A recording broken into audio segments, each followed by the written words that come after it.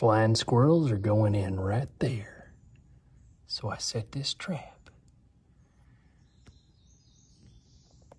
And the ground is way.